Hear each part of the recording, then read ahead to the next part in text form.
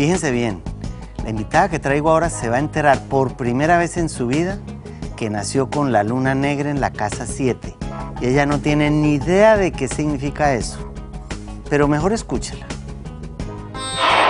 Hola Mauricio, mi nombre es Julia Guerra, soy diseñadora de modas y también de interiores. Vengo a tu programa porque sé que eres de los mejores y mi signo zodiacal es Pisces. Quiero que me digas qué me depara el futuro profesionalmente.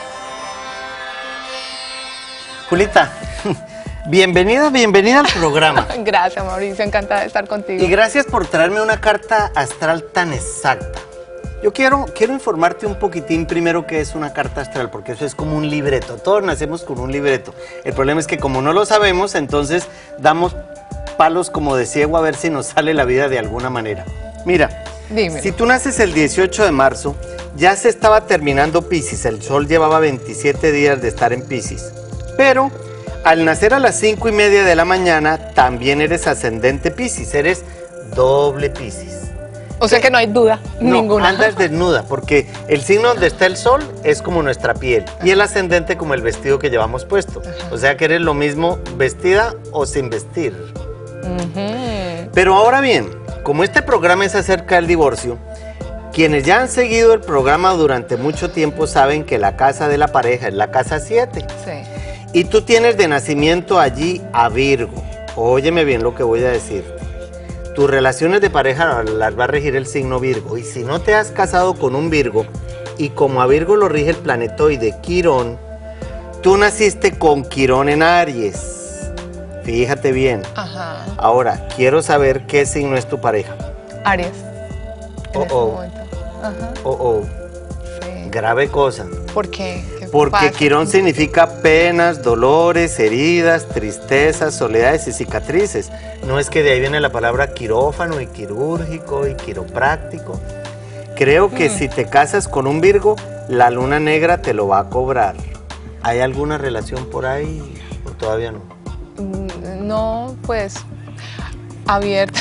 ¿Abierta? ¿Qué pasa? Me estoy divorciando y. Bueno, pues sí, pero eso es un funeral. De pronto puede haber un entierro en otra parte. Ay, Dios mío. ¿O no? Todavía estamos de del luto, luto, luto, Sí. la, la luna negra. ¿Puede, puede haber algo más, Leo? Sí, no, pues ya vas a ver. El mejor planeta en su simbolismo es Júpiter en el zodíaco. Júpiter dice que la vida es color de rosa, que es época de abrir puertas y expansiones y oportunidades. No todavía. El año de los Piscis comienza el 17 de enero del año entrante y dura hasta el 22 de enero del 2011. Eso nos daría a entender que si va a ser tu año y eres doble Piscis, todo el 2010 y un gran pedazo del 2011 es una época excelente para borrar lo que has hecho, Sí. dejar atrás el pasado, cortar cordones umbilicales. Y eso es fantástico. También para tu éxito profesional, porque Júpiter rige a Sagitario y es Sagitario quien rige tu éxito profesional. Qué rico. Eso es lo que quisiera saber, eh, ¿qué, qué me depara el futuro entonces en las cosas de, de profesionalmente A hablando? ver, si. Júpiter son las expansiones y oportunidades y el crecimiento y los viajes, me parece que te vas a tener que dar a conocer mucho profesionalmente, mucho más. Urano rige la libertad y la independencia y ahora está en, a- en, a- Urano, que da la vuelta alrededor del zodíaco cada 84 años, te beneficia hasta el 12 de marzo del 2011 para ser más libre e independiente. ¿Tienes tu propia empresa? Sí, sí, bueno, mi colección entonces, propia. entonces, si es tu colección propia, Urano, que rige la libertad y la independencia, viene de la casa 7, que además de ser la casa de la pareja, es la casa de los socios. Sería bueno que tuvieras alguna sociedad. Tengo una socia ¡Ay! y ella es Pisces también. Pues ¿Es mira, bueno? ahí está. Claro que es buenísimo, porque también va a ser el año de ella. Ay, de verdad. Eso es lo bueno de saber uno una carta astral a quién le conviene. Pero fíjate bien, a Pisces lo rige Neptuno y tú naciste con Neptuno en el extranjero. O te conviene una socia Pisces extranjera o conviene que las dos estén en el extranjero. Mi socia vive en Colombia. Ajá, pero ¿Por ¿de dónde es ella? No, es colombiana. Bueno, pero está muy bien. ¿Por qué? Porque tú estás ahora en el En extranjero. extranjero. Ah, ¿Y entonces qué significa? Que pueden hacer una triangulación con el extranjero y todo lo que tenga que ver con la sociedad, lanzarla a darse a conocer en el extranjero. En la casa del amor está activo alguien de signo Leo. Habría que pensar si Leo es parte de tu pasado o lo incluyes en el futuro. ¿Y cómo se sabría eso? Pues acercándose al Leo, a ver qué quiere. ¿Qué será lo que quiere el Leo? el león. bueno, vamos a ver. ¿Hay alguien Leo en tu vida? Eh, sí, sí, hay una persona Leo. Uy, está ronroneando. Y, y cuidado, los gatos comen pescado. Ay, no me digas. Espero que el gato O sea, que eso es bueno para la luna negra o no. No es bueno porque la luna negra es solo en el primer matrimonio. Pero si los gatos comen pescado, espero que no descubra que, que eres una piraña. Porque las pirañas comen gato y escupen los huesos. Sí, esa soy yo, ¿cierto? Así. Pirañita, creo que nos va a tocar terminar el programa. Menos mal, yo no soy Capricornio. Yo no soy Leo, que diga, soy un Capricornio. Mira, te salvaste. Sí, pero ojo, tienes a Capricornio en la casa de los grandes amigos. Ay, Temo que acércate más y más. y ustedes no se vayan, nos vemos en un momentito. Gracias. Mire.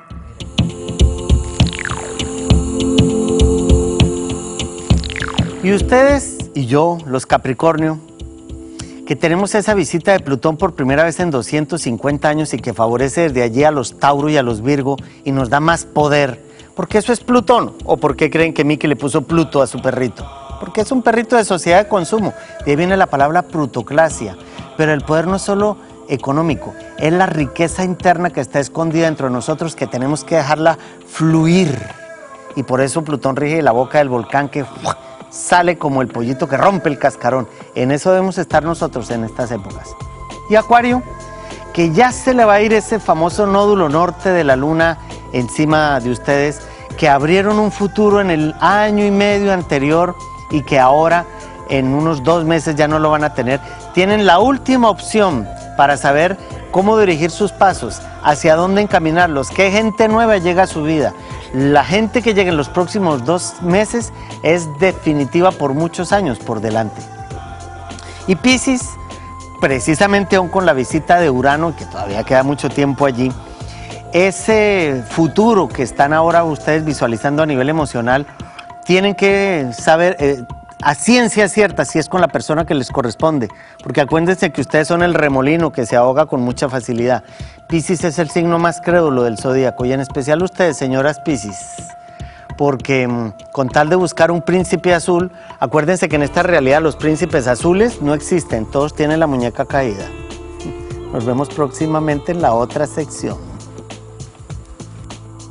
Vamos con una nueva trivia astral. ¿Qué significa Sol y Saturno en oposición? La respuesta luego de la pausa.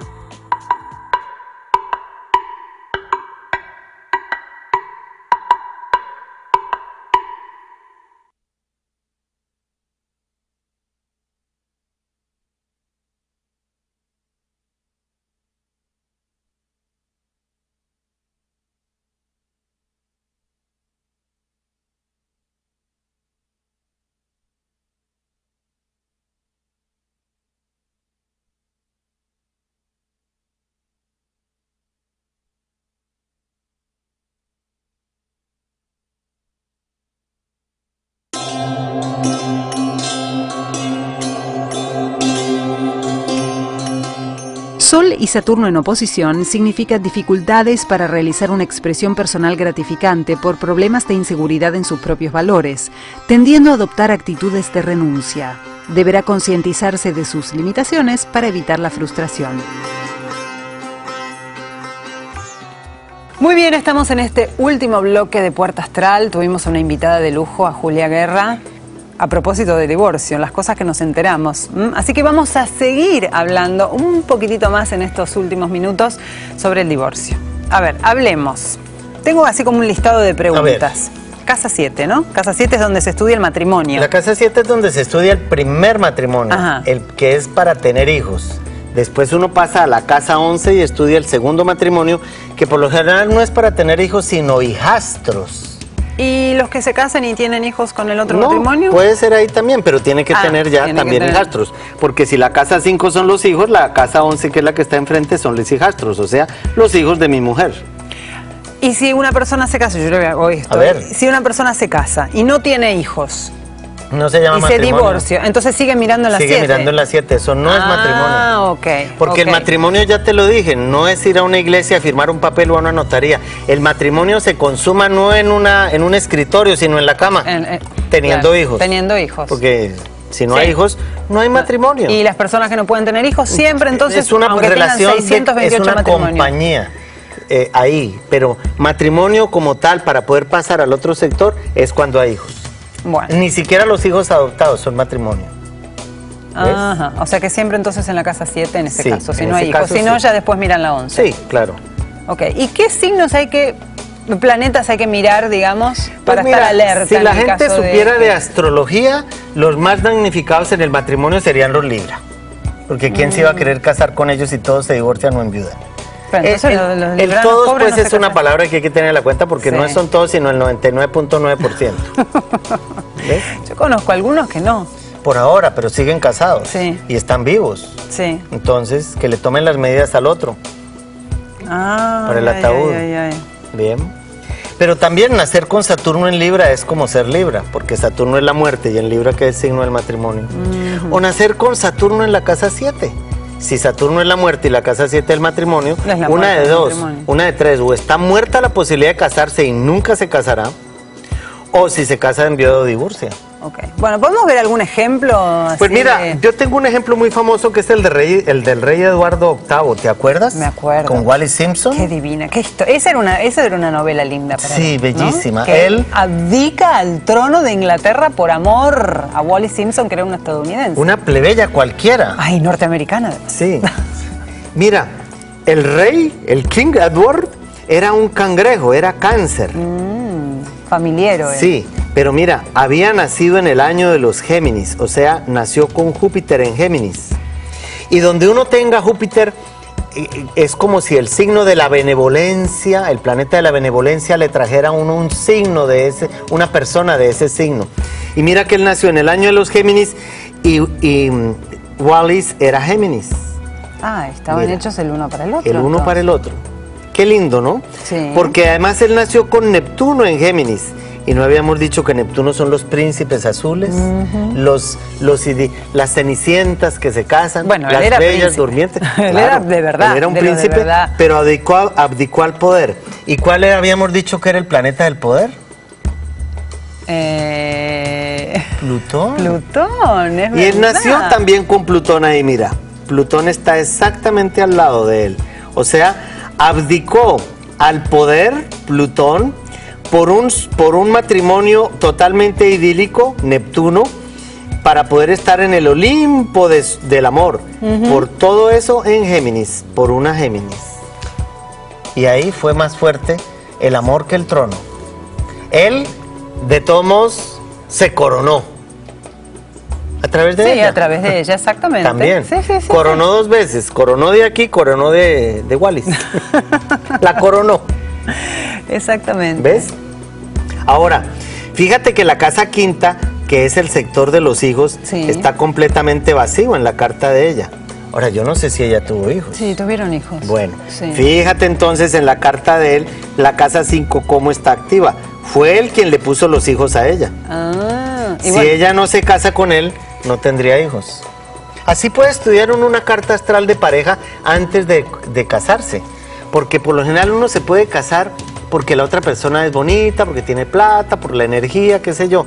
Pero en el fondo, esa clase de matrimonios no funcionan porque la raíz de las, digamos, de- del libreto de cada uno, tarde o temprano se rompe, ya que no hay una base instintiva que sería el hecho de eh, amarse no por, no por un momento, sino, por la unión claro. total de lo que es el amor.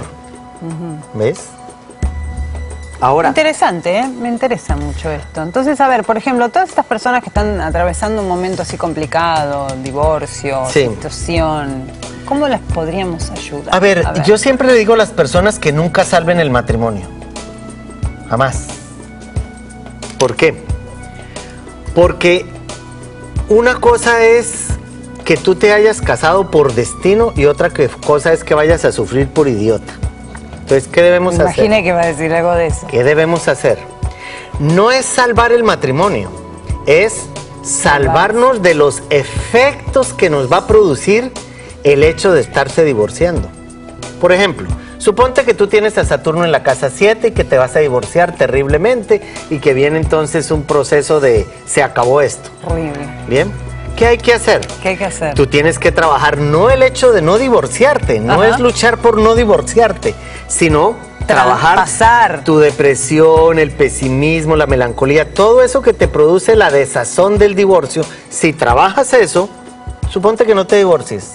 Ganaste mucho porque trabajaste todos esos estados. Y si te divorcias, pues ganaste mucho porque de todos modos no te produce no lo mismo pasa. que si no lo hubieras trabajado. Y además en esas situaciones, si uno está mal, angustiado, nervioso, enojado, en realidad se pierde de un montón de cosas Claro. y no transita la crisis. Y otra cosa estúpida grave. que hacen mucho las mujeres para no divorciarse Tienen hijos. es disque por los hijos. Ah, o por los O hijos. por Hay los otros hijos. que deciden tener hijos. Claro, Ay, para si no tenemos un es peor. lo peor No. que puede pasar. Si uno tiene hijos y llegó el divorcio, hay que divorciarse, porque los hijos también tienen que pasar por ese proceso. Ustedes no se pueden sacrificar por unos vampiritos que les van a chupar toda la energía y que cuando ustedes ya sean mayores y estén todas arrugadas, los hijos les dicen, no mamita, yo me voy, yo me tengo mi propia vida, usted consígase un enfermero y cásese con él. Y tú dices, pero tanto que ¿Y le di. yo qué te Y yo, y yo que no me quise separar, y yo que no me volví a casar, y yo, no. Uno no debe sacrificar su felicidad por nadie, menos por eso es que ustedes llaman sus hijos, porque ya sabemos que no son sus hijos, no son sus hijos, Son los hijos de la vida. son los hijos de la carne, exactamente. ¿Ves? O sea que si usted tiene que divorciarse, váyase con el perro, o mande al marido con el perro para otra parte, o a su mujer, qué sé yo. El divorcio es tan necesario como el matrimonio si es que llegó el momento. ¿O no dice la Biblia, hay tiempo de casarse y tiempo de separarse? Sí, sí. No debemos dejar pasar el ciclo del divorcio, pensando uno que eso se va a mejorar. O démonos un espacio. Bueno, de pronto se pueden abrir un poquito, pero si cuando vuelvan están igual, peor. Así es. Bueno, listo. Esas fueron unas excelentes palabras de cierre. ¿Qué le parece si cerramos el programa? Así nomás. ¿Nos vamos hasta la semana que viene? Sí. ¿Te gustó? Sí, nos vamos hasta la semana que viene. Recuerden que tenemos nuestra página en Facebook ahí. Pueden escribir y ponernos cositas y todo eso. Nuestros correos electrónicos, website y demás. Y sigan ahí en Puerta Astral que todas las semanas estamos aprendiendo algo nuevo. Y ustedes no olviden, el principal matrimonio es el que mantiene uno consigo mismo. Yo estoy casado con Mauricio Puerta. Y mantenemos también un divorcio, siempre hay un permanente divorcio. Cuando me llega la depresión, el pesimismo, el mal genio, la angustia, la melancolía, ahí hay un divorcio. La energía de Mauricio Puerta y la mía no se están entendiendo. Y por eso después de la casa del matrimonio viene la casa de la bestia. Se me salió. Espero que no se les salga esta noche y si se les sale, por favor. Mejor dicho, nos vemos después.